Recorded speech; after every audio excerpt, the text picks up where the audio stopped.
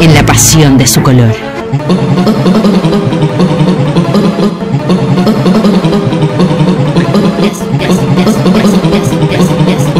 De su diseño, en la pasión de su color.